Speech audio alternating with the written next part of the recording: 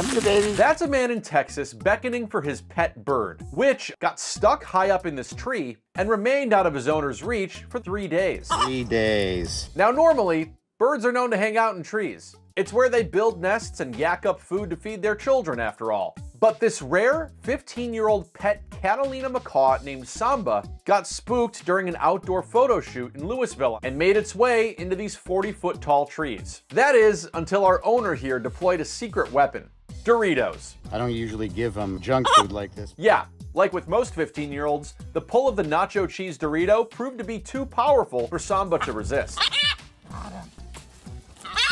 We did it! I'm relieved. You know, I haven't slept in three days. It's like your child. You know, your child is up stuck in a tree, can't get down, and nobody can get him down. After this all went down, our owner even took the bird out for some mango gelato. I hope I get Doritos and ice cream the next time I'm in trouble.